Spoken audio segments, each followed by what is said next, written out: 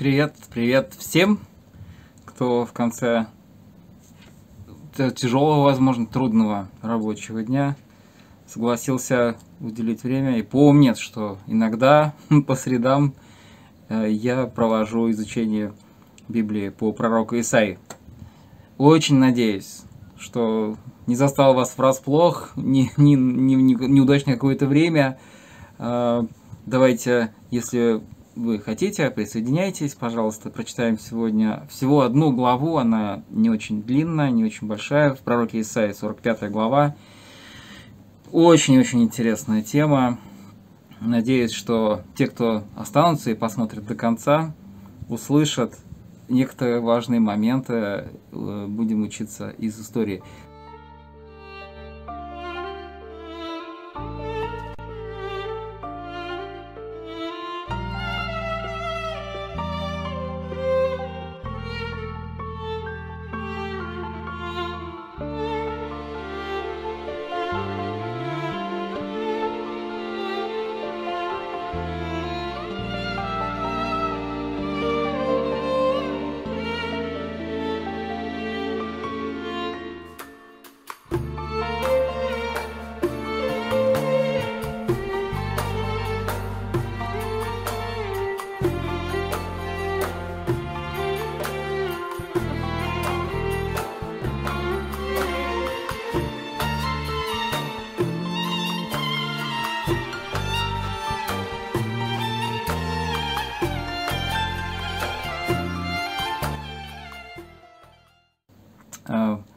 Прошлых двух главах э, пророка Исаия, которые мы с вами читали, там э, Господь предсказывает очень-очень интересные вещи. И в библейских пророчествах есть одна особенность. Э, Бог предсказывает э, вещи, которые произойдут наверняка через смертных людей, которые называются пророками, и при этом эти события отстоят по времени на 100, на 200 и больше, более лет вперед. И если бы не исторические свидетельства э, современников, и если бы не старые свитки, которые обнаруживают то и дело, э, значит, и относ, относятся ко времени э, очень давнему, то можно было бы предположить, что эти книги пророческие были записаны после происходивших событий. Сегодня мы касаемся удивительной главы. Она уникальна в, в какой-то степени, потому что э, речь пойдет о Кире II Великом персидском царе, который жил в седьмом, э, в конце, получается, в начале, в начале шестого века и дальше, где-то в 593 году до Рождества Христова родился – около того. И о нем э, существуют э, самые разные истории, и на самом деле э, после него самого, о его личной жизни, о нем самом довольно много противоречивой информации, и не так много, не так много осталось про него, вот в чем дело. Но царь Кир Персидский, великий, э, царь Кир II его еще называют, э, сделал очень особенную вещь. И за это потомки Авраама, Исаака и Якова, Израиль, вспоминают его до сих пор. Вспоминают добрым словом. Э, удивительно то, что он, то, что он сделал, фактически послужило в дальнейшем его потомкам, его династии. Я буду говорить об этом чуть более подробно, и э, я очень надеюсь, что история этого царя Персии, который фактически прожил не очень длинную жизнь, и его э, царствование э, было немногим менее 30 лет – примерно с 559 59 до 530 года до Рождества Христова. Но при этом он э, удивительным образом появляется на страницах Библии задолго до своего рождения. Итак, 45 глава Исаии. Так говорит Господь помазаннику своему Киру. Я держу тебя за правую руку, чтобы покорить тебе народы, и сниму пояса с чресл царей, чтобы отворялись для тебя двери, и ворота не затворялись. Кир – это имя, которое на древних языках звучало как Куруш или Куреш.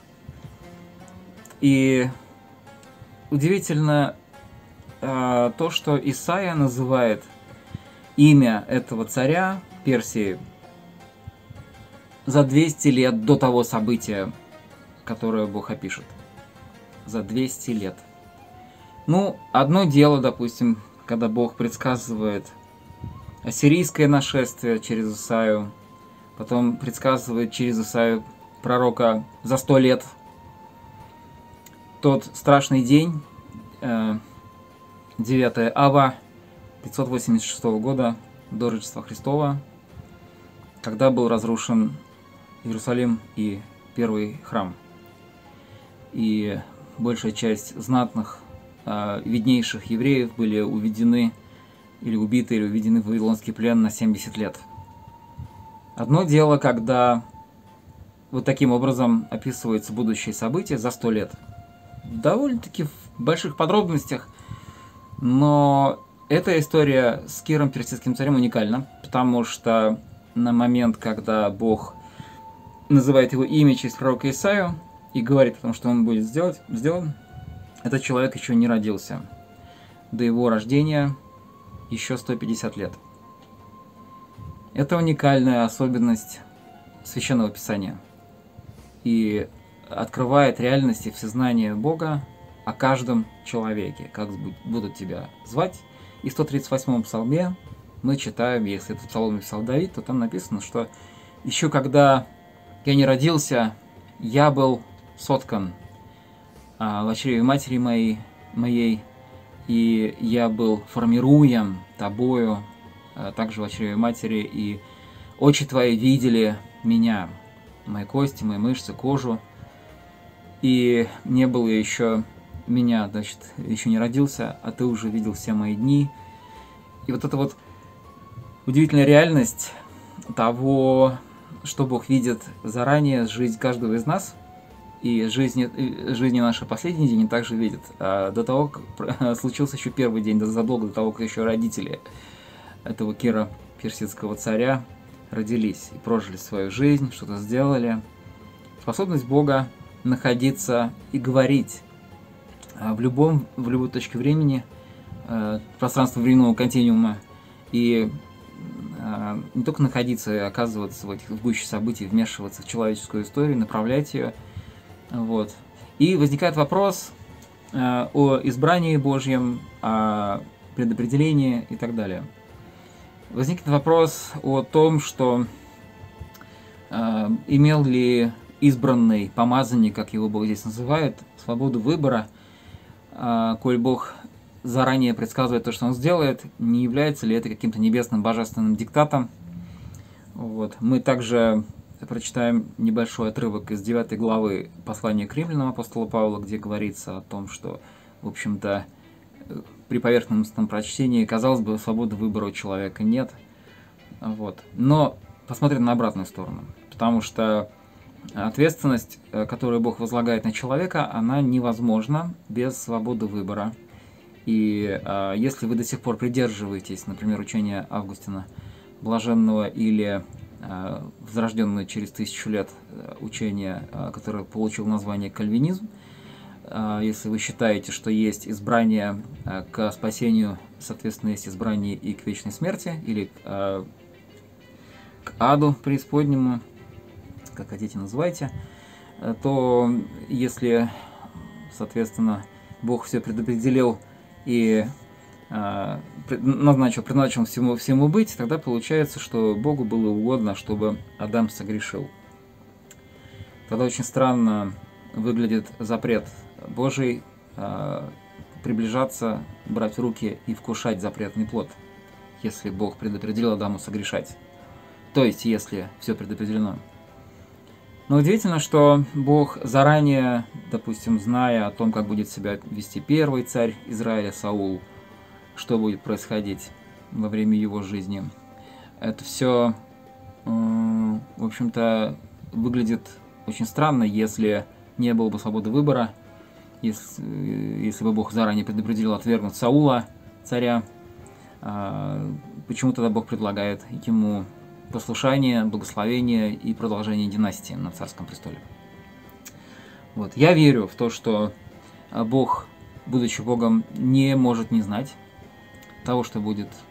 Он, естественно, знает сердце человека и все, что он совершит. Но я также верю в, том, в то, что у каждого из нас есть а, свобода выбрать.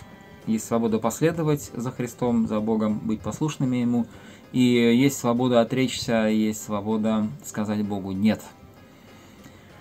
Вот. А, и также в отношении Кира, царя персидского, избрание Кира на особую миссию, а, чего-то очень великого и, и значимого, что он совершит и что коснется, и почему это вообще в Божьем Слове оказалось, почему это в Библии вообще история записана.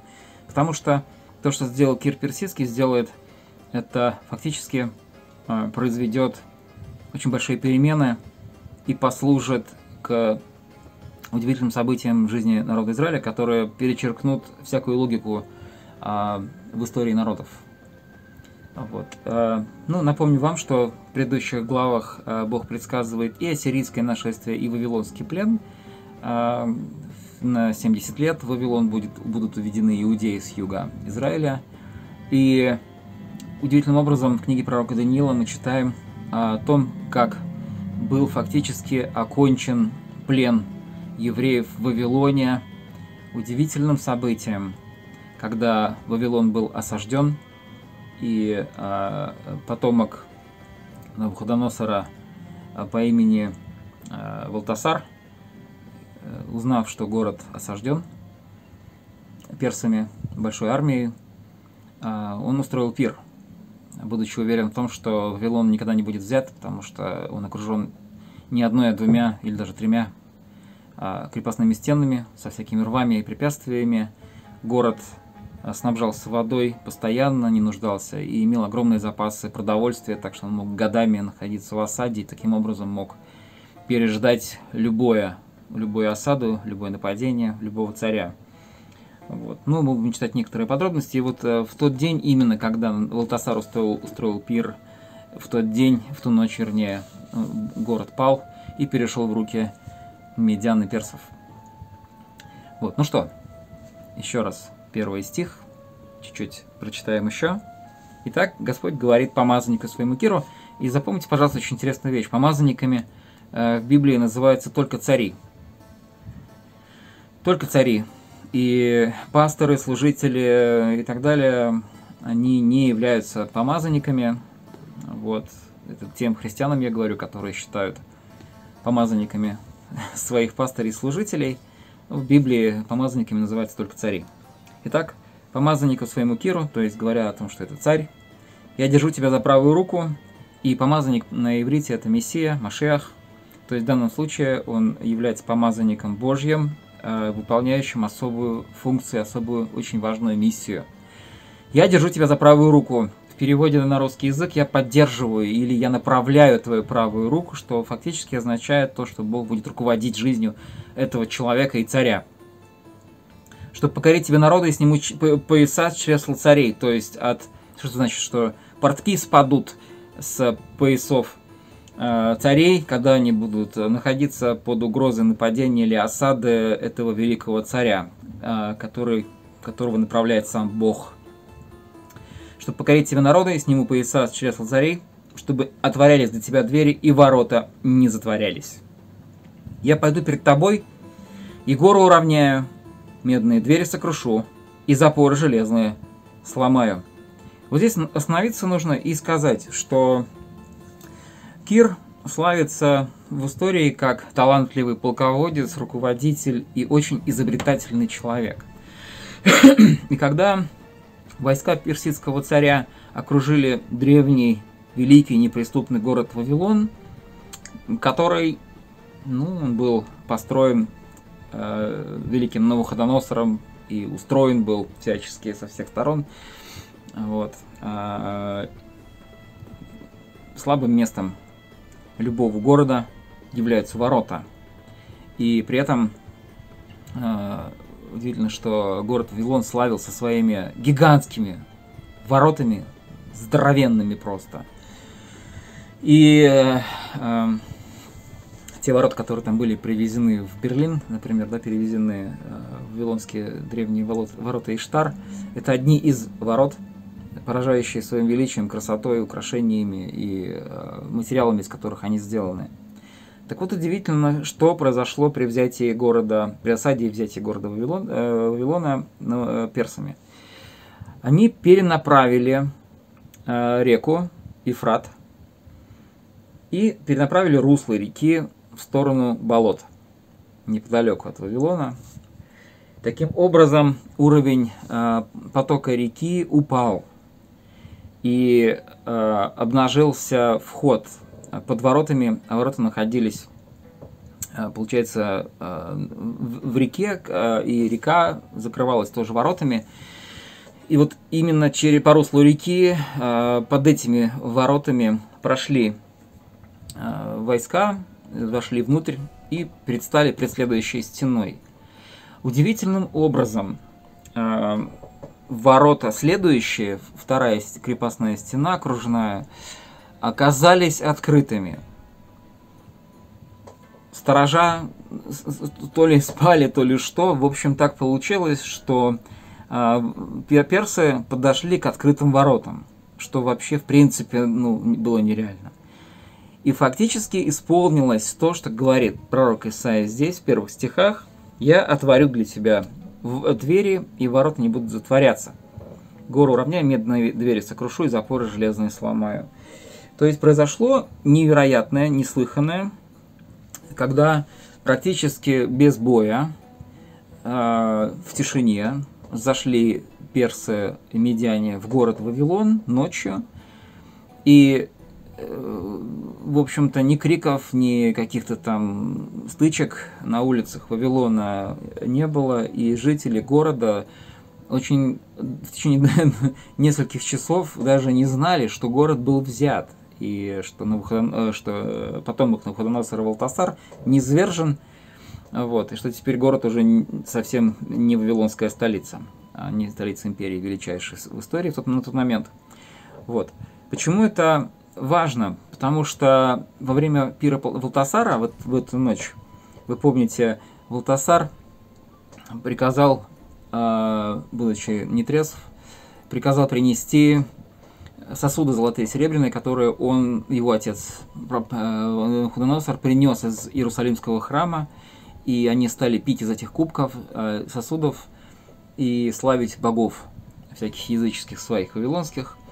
И за это, из-за осквернения священных сосудов Иерусалимского храма, появилась кисть отдельно от руки, человеческая, начала писать на стене письмена на непонятном языке, что никто не мог расшифровать, истолковать, прочитать даже.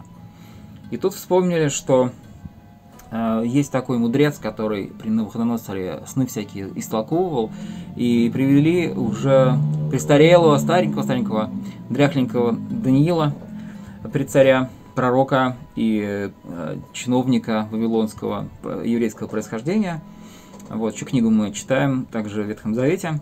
И вот привели его, и он, э, ему пообещал, Валтасар, что вот э, я тебе, значит, дам награды, всякие почести, золотую цепь и э, всякие другие почести я тебе воздам за то, что ты истолкуешь мне эту надпись и прочитаешь ее. Валтасар отказывается, Валтасар, в смысле Даниил, отказывается, у него также было прозвище, данное ему Накносором Валтасар, был тезка, можно сказать, по вавилонскому имени, этому нынешнему царю. И он сказал, нет, не надо мне этого всего, Э, потому что царство твое от тебя будет забрано. И он прочитал эту надпись, сказал, ты взвешен, найден легким. И вот, собственно говоря, в этот момент произошло э, взятие Вавилона. Очень интересные подробности. И а, далее, собственно, ну, если изучать историю Пер Персии вообще, то мы знаем, что Кир, будучи персом, он потом поднял восстание против медян, против второй половины своей империи и покорил их своей волей. И с того момента это уже не было не а, персо-медийская или медоперсидская империя, а чисто персидская, потому что он взял верх в этом конфликте. И так Господь обещает, что Вавилон падет. Это для евреев означало одновременно падение их пленителей. И если вы читали книгу Например, Неемии, в частности, вы видите там, что он был виночерпием царя Персидского, и получив известие из Иерусалима о том, что он э, пребывает э, в разрухе, э, он оказался очень грустным перед царем, и царь его спрашивает, почему ты грустный, что случилось. Э, Неемия попытался отнекиваться, потому что это было не, непозволительно э, быть с унылым видом перед лицом царя, за это даже могли и казнить. Вот. И он сказал, вот пришло известие из э, города моих отцов, что там могилы э, разорены в запустении, и Божий дом стоит, и стены разрушены, то есть Божий дом стоит в, в разрухе. Вот. И этот царь, которого не имею был виночерпием, э, он проникается состраданием, и поскольку любил своего слугу, еврея, не имею, вот, и говорит, а что тебе нужно э, для того, чтобы типа, тебе помочь. Заканчивается все тем, что Неемия получает э, полномочия, письма, которые дают ему возможность проходить через все границы по всей территории э, Персидской империи, идти совершенно беспрепятственно. Э, ему персидский царь дает и денег, и охрану, и материалы, и работников, и так далее. Вот. Для того, чтобы восстановить город и храм. И известны четыре э, указа о восстановлении э, храма и восстановлении стен Иерусалима. Э, и от четвертого указа, это одна из таких самых, наверное, я думаю, устойчивых версий событий. Вот. И от четвертого указа идет отсчет того самого времени, когда э, э, через 69 помноженное на 7 лет то есть через 483 года от этого указа в Иерусалим торжественно въедет Мессия Христос. Вот, такая вот интересная завязка. И э, царь персидский, он при всем том, что он так благоволил к еврейскому народу и послужил чрезвычайно много и сильно к восстановлению Иерусалима и храма, возвращению евреев назад, восстановлению фактически еврейского народа, вот таким образом как-то привилегированно он отнесся к э, еврейскому народу, отпустил их назад к себе домой, что просто было неслыханным тоже делом для всех плененных народов, то есть какая-то особая, сугубая честь, избрание, благословение, Божья какой-то, Божья рука, иначе, иначе не скажешь, что вообще противоречит всякой логике истории. То есть еврейский народ должен был погибнуть и исчезнуть, потому что северная часть Израиля была ассирийцам и в Ниневию, оттуда 10 колен израильских целиком уже и полностью не вернулись, да настолько жестоко они там были подавляемы и уничтожаемы, что а, они, вернувшись даже назад к себе домой, уже редко кто мог вспомнить, кто из какого колена. А тут колену Иудину, которое было уведено в Вавилон, а потом было освобождено персидским царем, и мало того, освобождено еще и город был восстановлен на средства Перс Персии, на средства государственной казны, а, по благоволению, по приказу э, персидского царя, это вообще ломает всякие стереотипы и представления, потому что это языческий царь, который э, по всему тому, что мы знаем о нем, он не обратился в иудаизм. Да, он уважал Бога евреев, он, э, так Бог ему положил на сердце помочь и благословить еврейский народ. Вот. Э, это очень уникальное событие, которое Сейчас евреи в Израиле практически, ну, я имею в виду сионистскую часть Израиля, которая ратует за государственность, за восстановление Израиля во всей полноте на всей его территории. А, вот. И они видят особые параллели в настоящее время с тем, что происходило тогда, в VI веке до Рождества Христова, когда царь Персидский восстанавливал э, за счет своей, своего государства Иерусалим и храм в нем. Вот. И усматривают то, что сейчас происходит, например, с перенесением э, столицы Израиля в Иерусалим, э, с тем, что э, значит, Америка, э, президент Трамп э, делают то, что многие американские президенты обещали делать, но не делали в отношении Израиля. Вот. И даже выпустили специальную памятную монету полсикля, полшекеля, который изображен, изображены два профиля. Один профиль на заднем плане – это профиль царя Кира Персидского, и на переднем плане профиль Дональда Трампа потому что в понимании сионистов и некоторой части религиозных евреев в Израиле Трамп э, является как бы э, что ли, продолжателем дела Кира Персидского, который послужил к восстановлению э, страны, государства и, и города, столицы Израиля, Иерусалима. Вот. Ну что, читаем дальше, смотрим. «И отдам тебе, хранимые во тьме сокровища и сокрытые богатства, дабы ты познал, что я Господь, называющий тебя по имени, Бог Израилев. А, Бог обещает, что Израилю через царя э, персидского достанется там определенная часть богатств, а царю персидскому Господь откроет все двери и сокрушит абсолютно все государства, стоящие на, на его пути. И если начнут перечислять те страны, которые э, подчинились, покорились и не смогли противостоять начиная с Вавилона, царю персидскому Киру, то, наверное, перечисление займет достаточно долгое время. То есть он действительно был тем самым завоевателем, перед которым даже Великий Вавилон не смог устоять, сам Бог открыл его двери. То есть во всем этом а, свидетельствовалась Божья рука, в отличие, например, от ассирийских завоеваний. Вот, ради Якова, раба моего, и Израиля, избранного моего, я назвал тебя по имени. Вот, это единственный царь, в истории да, античной, которого Бог называет по имени за 200 лет до того события, которое он описывает. Ради Израиля, Господь говорит, я тебя назвал, ты э, и почтил тебя, хотя ты не знал меня. Вот это вот Божье избрание, благоволение, основано исключительно из Божьего желания благословить его народ. То есть Господь берет языческого царя, для того, чтобы благословить свой народ. И полагает на сердце этого языческого царя вот, желание сделать то-то, то-то, то-то. И вот эту цепочка событий просто невероятная. И причина в этих событиях как раз в том, что Бог ради своего народа делает какие-то очень необычные вещи.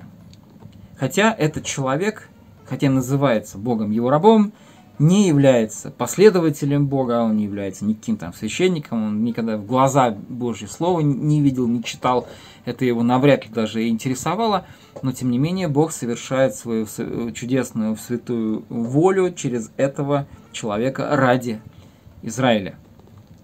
«Я, Господь, и нет иного, нет Бога, кроме меня. Я припоясал тебя, хотя ты не знал меня дабы узнали от восхода солнца и от запада, что нет кроме меня. Я Господь, и нет иного.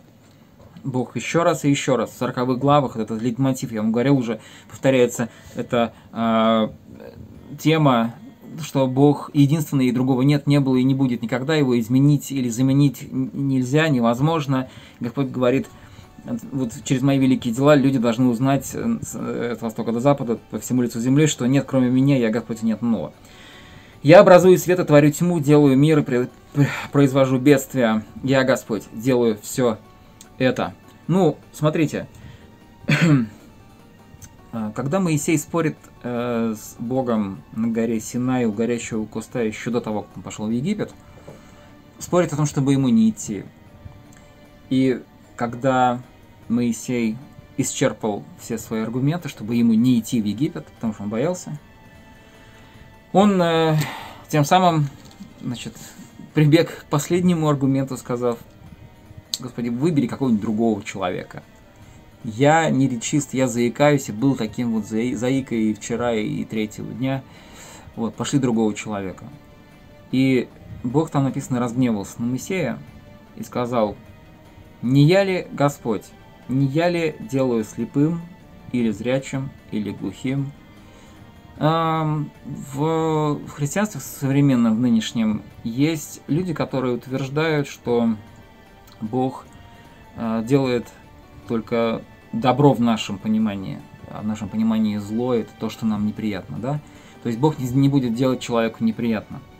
Ну, достаточно вспомнить э, ночную борьбу Якова с э, Богом, когда некто этот вот, да, неизвестный Якову, э, видя, что Яков не сдается, не хочет коряться, вы помните, что этот некто взял и повредил, коснулся, э, повредил суставы бедра Якова. Так что Яков упал, обессилев, и схватился за этого э, некоего, да, с кем боролся, и умолял его э, не оставлять его, пока не благословит, не уходить никуда.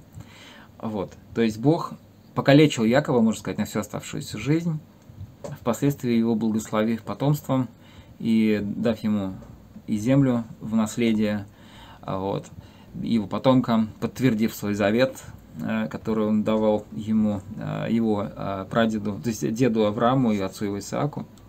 Вот. То есть мы видим в Писании, что Господь на самом деле даже за определенные бедствия, за войны берет на себя ответственность. К примеру, мы видим в книге Откровения множество казней, множество э, страданий, которые приходят в жизнь непокорного человечества э, с небес. То есть эти, это зло, как бы в нашем понимании, в человеческом, оно приходит с неба от Бога. И Писание конкретно там говорит, что, в общем-то, люди, страдают, страдающие в этот момент, в это время великой скорби в книге Откровения, эти люди, они начинают хулить Бога, зная при этом, что Бог имеет власть над этими язвами, то есть это в Божьих, все в Божьих руках, в Божьей власти. Вот.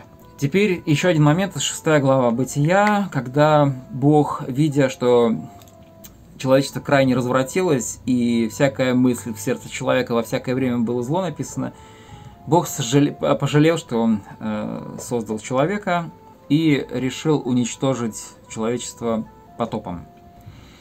Но сохранил человечеству жизнь в лице семьи из восьми человек. Это был Ной, его жена и их э, сыновья с женами. Вот. А, тоже смерть, в общем-то, катастрофа вселенских масштабов и гибель всего человечества и всего живого на Земле, это все было Божьим делом. Поэтому не надо, наверное, все-таки рисовать Бога себе, как это удобно. Бог есть Бог, а мы нет, как говорится. Мы не Бог. И э, он творец, он же и судья, и поскольку он творец и хозяин всей жизни, он устанавливает правила, он дает закон, он дает заповеди, при этом всем имея всю власть судить любого человека, когда ему и как ему заблагорассудится. при этом он решает спасти человечество, э, послав сына своего воплоти на землю, чтобы умереть от рук грешников, для того, чтобы в итоге воскреснуть из мертвых ему и через воскресение из мертвых даровать спасение всем, кто поверит в него. А, это очень сильно уравновешивает это любовь, благодать, желание спасти грешников, не дать им погибнуть, а не просто на земле погибнуть, а в вечности погибнуть не хочет он дать никому. А вот это вот любовь его в равной степени уравновешивает его святость, праведность и справедливость. По справедливости должны умереть все, потому что все согрешили, абсолютно все согрешили.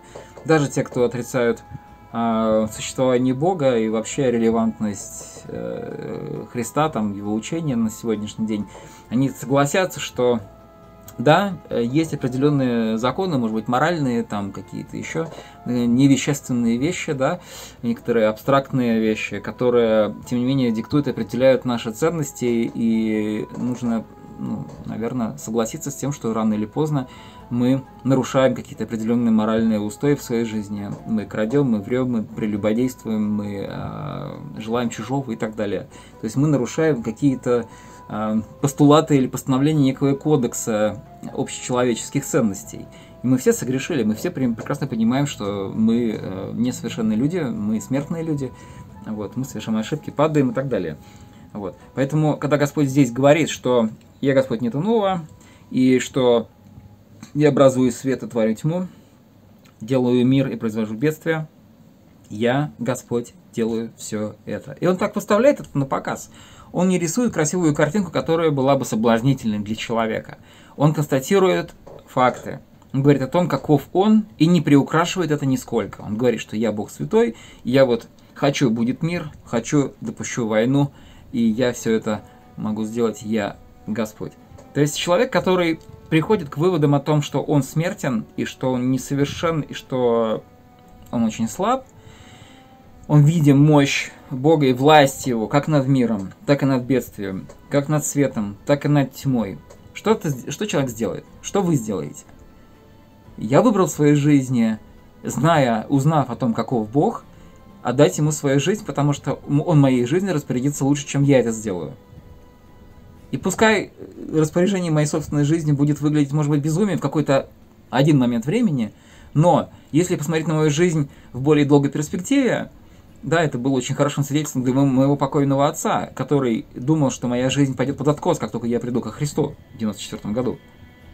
Вот. Но при этом он впоследствии, в течение многих лет, последующих моего христианства, он убедился в том, что Богу э, было неугодно мою жизнь разрушать, и вера в Бога, наоборот, созидала мою жизнь, мою семью, помогала мне во всем и так далее. И это на самом деле его в какой-то степени убедило, так что он был согласен даже и молиться, и покаяться прямо за месяц практически до своей кончины. Вот. То есть э, вот есть знание о Боге, и Бог говорит откровенно, без всяких обиняков или лукавства. Он говорит, э, он не рисует какую-то картину, которая была бы приятна нам глазам, нашим глазам. Он говорит, вот такой я есть, я творец, и я с тебя спрошу, потому что я тебе дал жизнь. Ты не сам себе дал жизнь. Определения жизни вообще даже нет ни у кого. Наука не дает определения. Никакая. Ни лингвистика, ни точно наука. Нет определения жизни нигде. Есть описание ее, есть ее проявление, но определения жизни нет. Но определение жизни есть в Писании, что Бог есть жизнь, Он источник жизни.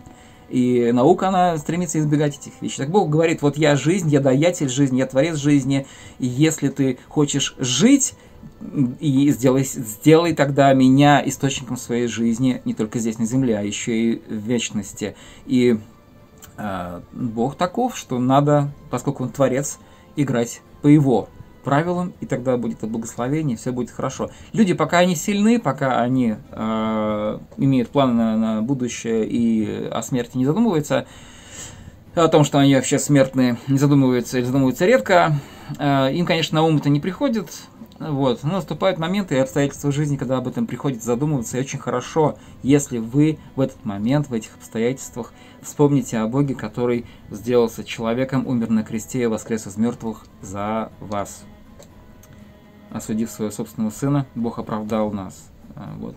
Это очень важно. Итак, кропите небеса свыше, и облака да проливают правду или праведность. Да раскроется земля и приносит спасение, и да произрастает вместе правда или праведность. Я, Господь, творю это. То есть замысел Бога какой?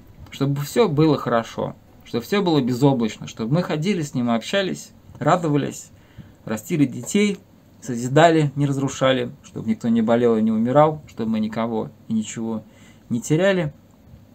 Но, к сожалению, этому всему мешает гордыня человечества и э, наша непокорность, которая мешает осуществлению Божьих замыслов в нашей жизни. И Бог говорит, что мои замыслы о вас только добро, только добро.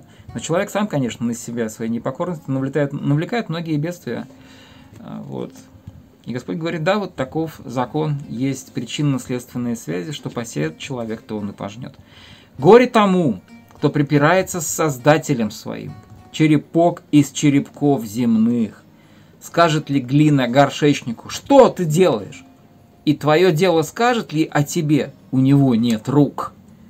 Даже если вы там занимались каким-то гончарным делом или рисованием, или каким-либо искусством, и вы поняли, что это не ваше, но ну, создали какое-нибудь уродство, да, руками своими, нарисовали какую-нибудь ахинею, написали, то, что там петь не умеете, слуха нет, ну, не знаю, да, в чем-то вы себя пробовали, у вас это не получается, но при этом бедная бумага все стерпела, да, там краски вы извели, или там глину что-то вон там испортили, но то, что вы испортили, это вот, э, так скажем так, да, не очень приглядное что-то, что вы там пытались изобразить, оно вам не скажет ничего. Что ты натворил, правда? То есть это такая картина, которая подразумевает, что творение рук человеческих, оно не кричит в ответ человеку, что ты вообще делаешь, да? Ты что, не знаешь? У тебя что, рук нет?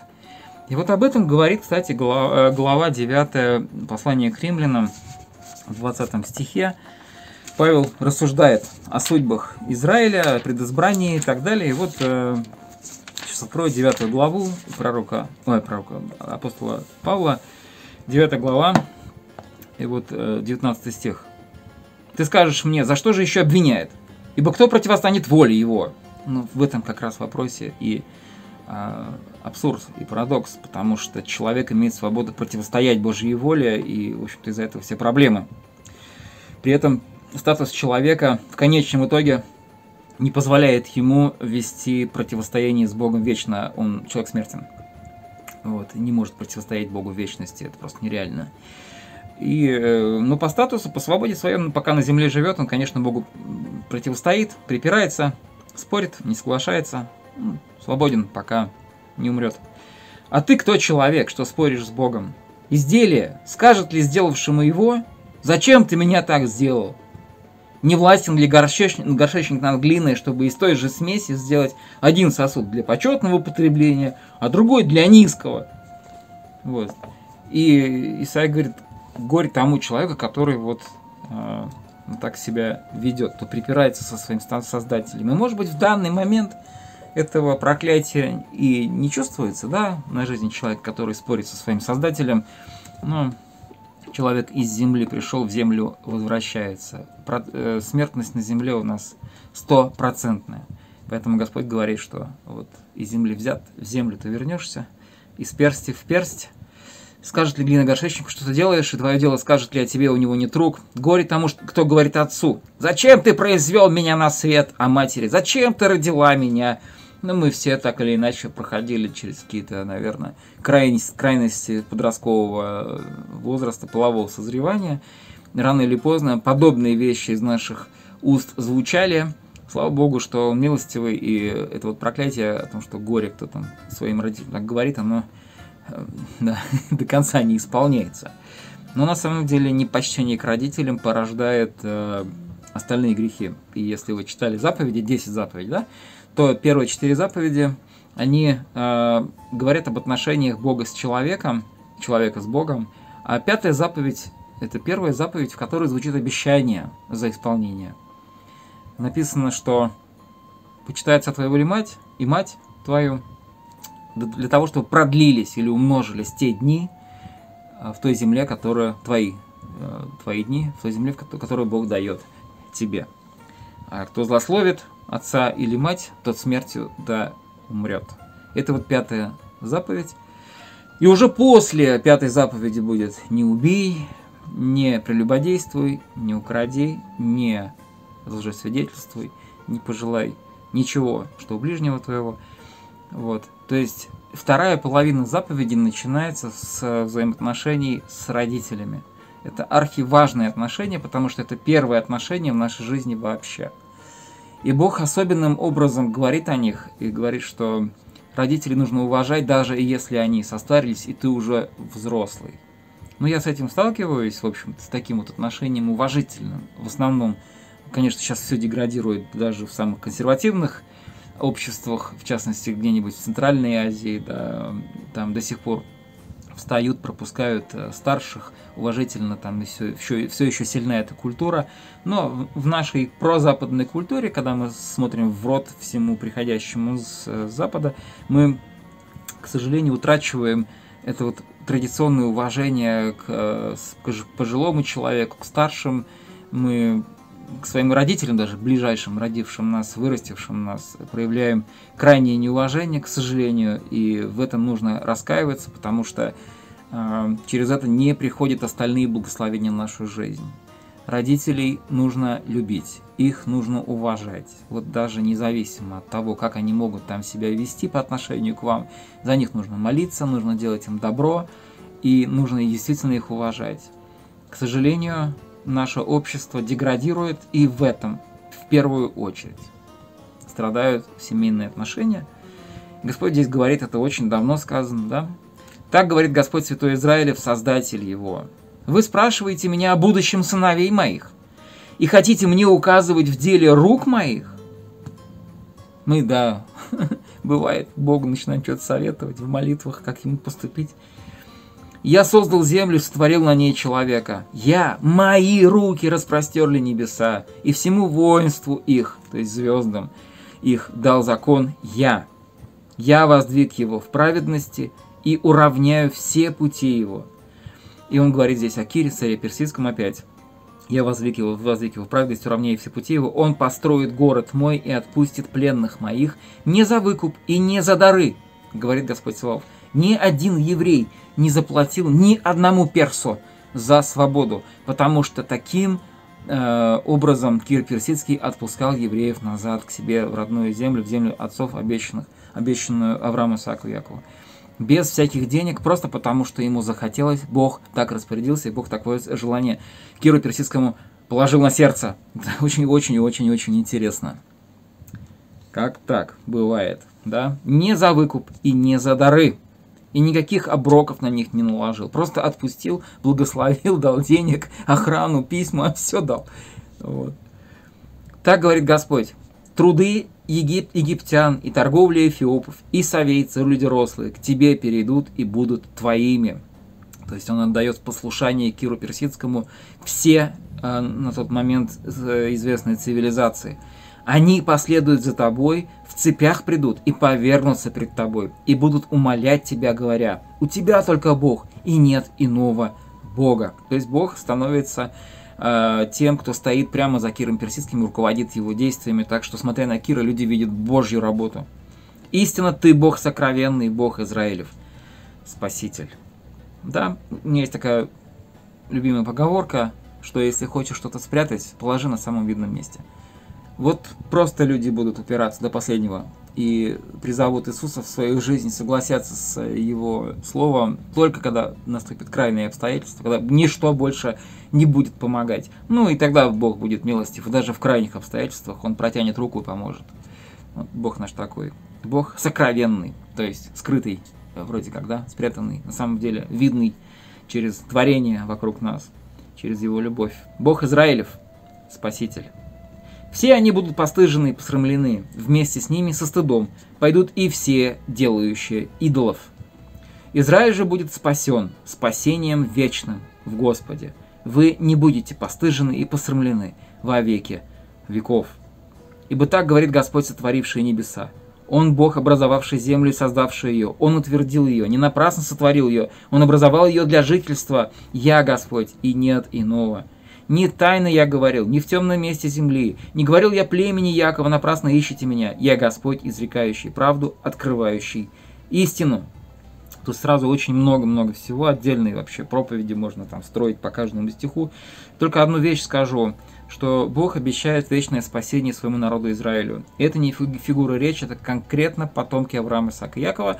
И Бог еще раз и еще раз и еще раз говорит одну и ту же мысль, что Он будет верен всем своим обещаниям. И даже если какое-то поколение евреев нарушило завет, нарушило закон, нарушило заповеди, Бог их детей, их внуков, правнуков помилует. Не потому, что они иногда даже могут и покаяться или не покаяться, но потому что обещал Аврааму, потому что обещал Исааку и Якову. И потому что Бог есть Бог, и Он исполняет свое слово. Даже если нет тех людей, которые могли бы, уже в живых, да, которые могли бы прийти сказать, Бог, а ты помнишь, что я обещал? Бог не надо напоминать, Он помнит прекрасно о том, что Он обещал. И поэтому Он, основываясь на самом себе, на своей верности, Он исполняет обещанное. Дальше, и вторая мысль в 18 стихе. Бог – создатель земли, утвердивший, создавший, сотворивший, образовавший ее. И Он сотворил ее не напрасно. То есть, то, что мы называем творением и землей Вселенной, является плодом сознательного, разумного замысла и осуществления этого замысла. И Господь говорит, что Он создал землю не в результате какого-то стечения обстоятельств, случайных каких-то там, да, эволюционных процессов. Он создал намеренно для того, чтобы населить Землю жизнью. Люди там в науке пытаются найти жизнь где-то еще на других планетах, на какие-то там легенды и мифы слышим, про какие-то там другие планеты, где возможна жизнь, но пока никаких обстоя- обстоятельных доказательств а, действительно вещественных мы не получили существования жизни где-либо помимо Земли. Ну просто вот так. Да, это факт на сегодняшний день, в 21 веке. Не тайно я говорил, не в темном месте земли, то есть Бог не прятался от людей. Не говорил я племени Якова напрасно ищите меня, я Господь изрекающий правду, открывающий истину. Соберитесь и придите, приблизьтесь, все уцелевшие из народов. Невежды те, которые носят деревянного своего идола и молятся Богу, который не спасает. Рисунок, рисунок такая картинка получается очень смешная, потому что люди носят и переносят с места на место какие-то там, допустим, да, э, статуи своих богов а, и богов своих отцов, там, предков. Вот. Все это сделано из каких-то материалов подручных, да, даже из самых драгоценных там, металлов, пускай ну, до, до, э, добытых из-под земли. Вот. Господь говорит, вот вы сейчас этим этих богов носите, потому что они сами ходить не умеют, да, и вы этим же потом статуям э, начинаете молиться. То есть это абсурдный э, театр, театр абсурда, можно сказать, да, когда вот Бог Э, который вносит, он тебя не сможет ни спасти, ни поднять на руки, ни унести никуда, ни избавить тебя ни от чего. И ты ему при этом молишься. То есть вот Объявите и скажите, посоветовавшись между собой, кто возвестил это из древних времен. Наперед сказал это. Не я ли, Господь?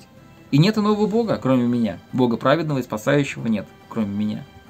Ко мне обратитесь, и будьте спасены все концы земли, ибо я Бог и нет иного. Вот до этого он говорит о спасении Израиля, о вечном спасении Израиля. И мы видим при этом обращение и к народам. Нужно, чтобы Израиль это услышал и для, даже для церкви в первом веке, которая состояла по большей части из евреев, в деяниях до 10 главы, там одна еврейская церковь была.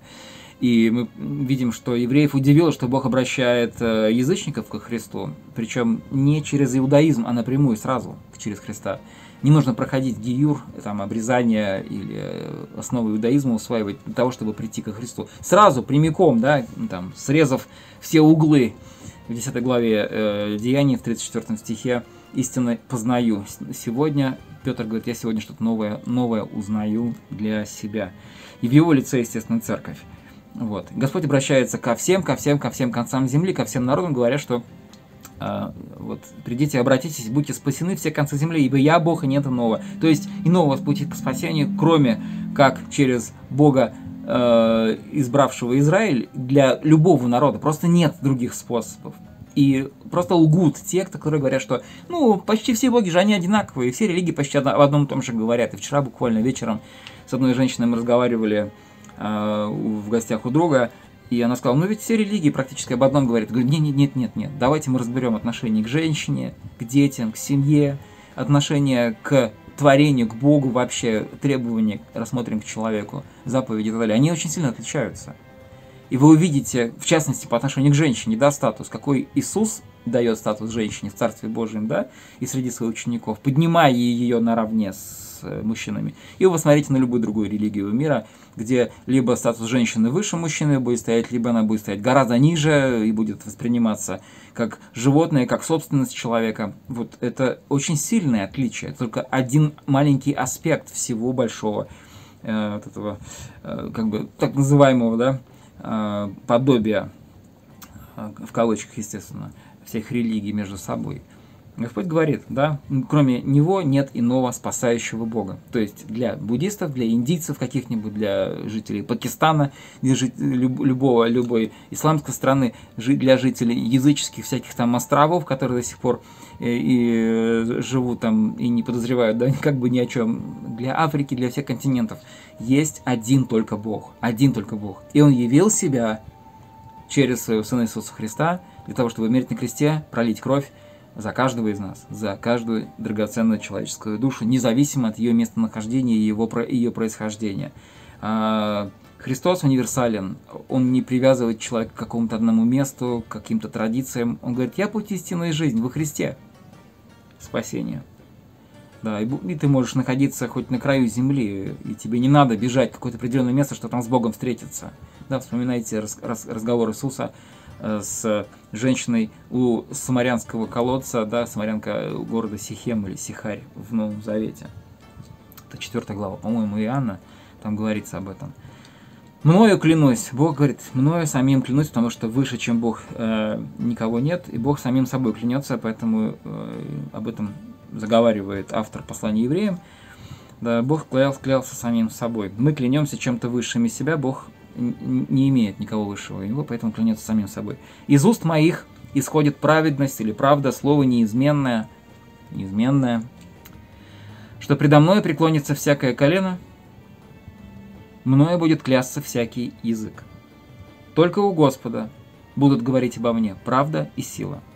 К нему придут и устыдятся все, враждовавшие против него. Очень хочется, чтобы это произошло, чтобы все пришли и примирились с Богом, и мы, как поспешники, написано, как помощники на земле Божьей, мы умоляем всех людей на земле, пожалуйста, придите, примиритесь с Богом. Он не гневается на вас, Он хочет вас спасти, не желает смерти никому. Пожалуйста, приходите к Нему. Господом будет оправдано и прославлено все племя Израилева. Пометьте для себя этот стих, потому что Господь оправдает Израиль, потому что это Его дело, это Его народ, Его наследие, Его собственность. И Господь говорит, да, что Он спасет и оправдает, и мало того, еще и прославит все племя Израиля или потомков Авраама, Исаака, Якова. Послание к филиппийцам, вторая глава, это параллельное место. И вот если мы э, видим, что Бог говорит в Исаии, как бы Бог Отец подразумевает, да, говорит, что предо мной преклонится, да, всякое колено, и все будут клясться мною, всякий язык, всякий народ будет именно Бог, Богом настоящим клясться, а не своими лжебогами. Прочтем во второй главе э, филиппийцам апостола Павла с 9 стиха во второй главе. Павел пишет, «Поэтому и Бог превознес его и дал ему имя выше всякого имени, дабы перед именем Иисуса преклонилось всякое колено небесных, земных и преисподних, и всякий язык исповедал, что Господь Иисус Христос, во славу Бога Отца. А, маленькая пометочка для тех, кто все еще, может быть, сомневается в божественности, в божественной природе Христа, помимо его человеческой природы.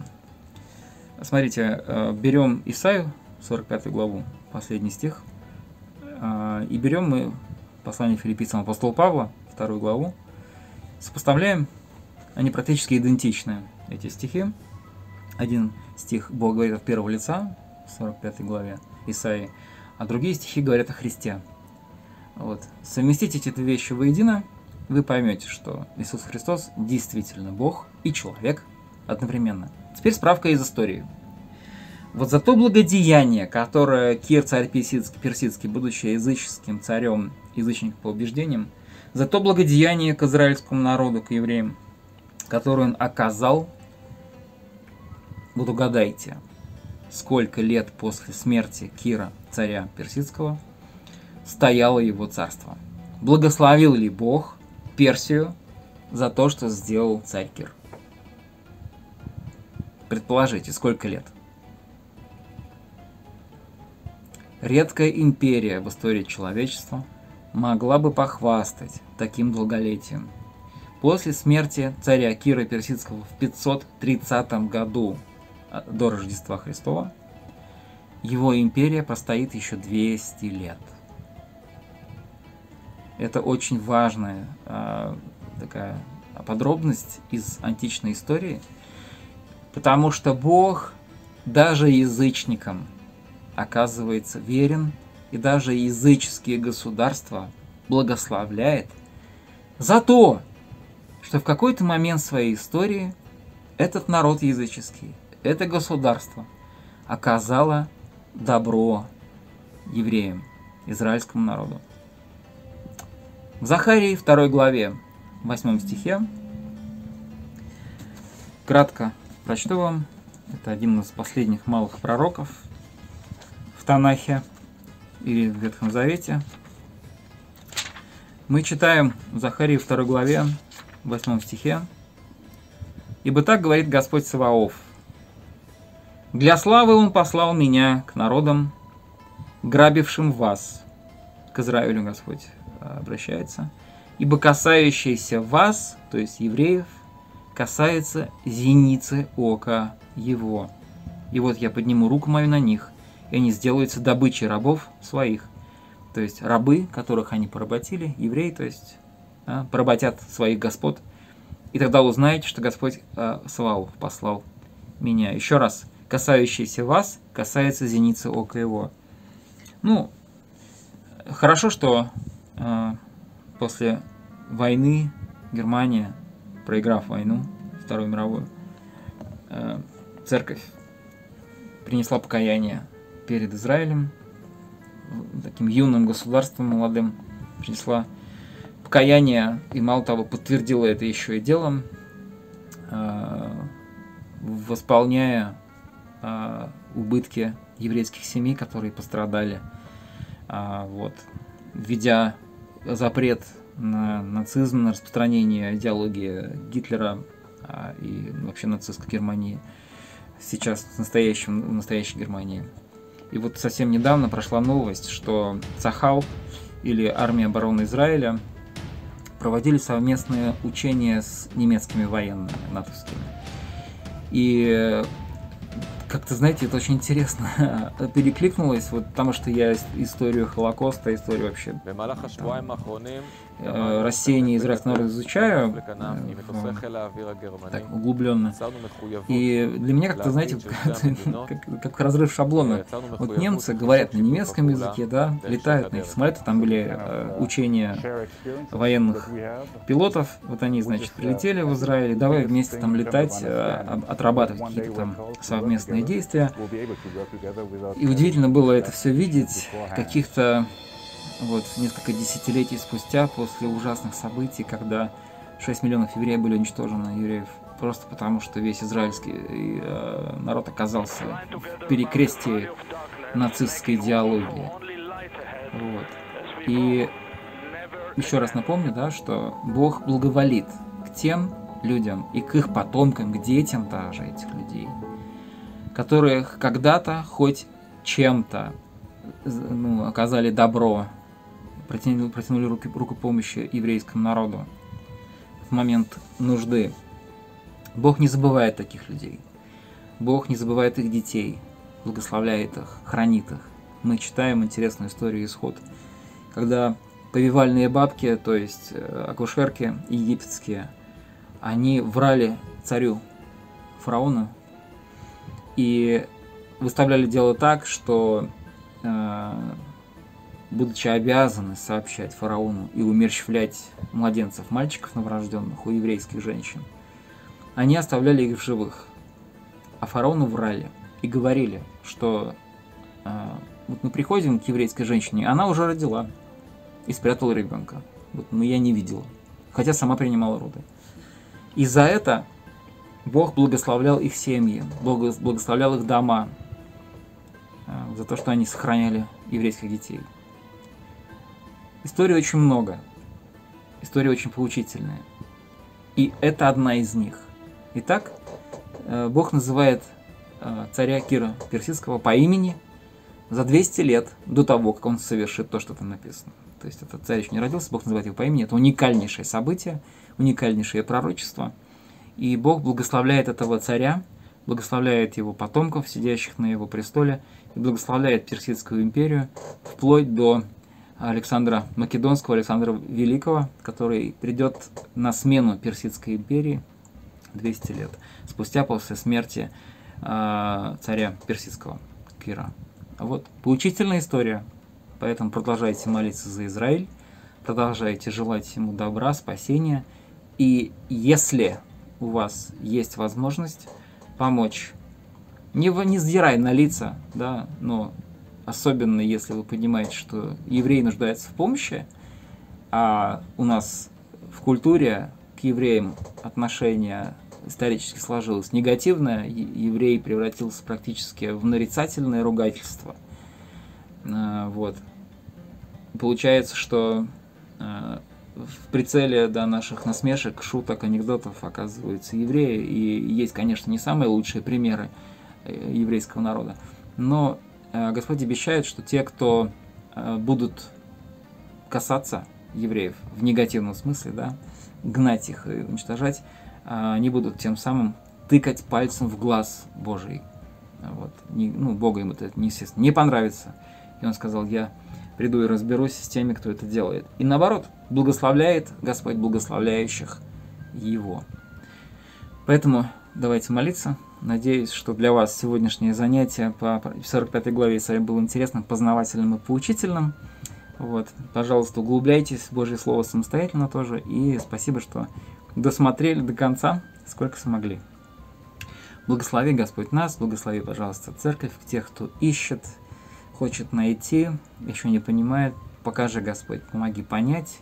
Молимся за Израиль, за то, чтобы они обратились а, к Иисусу Христу. Мы знаем, что это произойдет однажды. Произойдет в самых страшных и сложных обстоятельствах, которых Израиль никогда и не видел в своей жизни в такой степени, как это будет.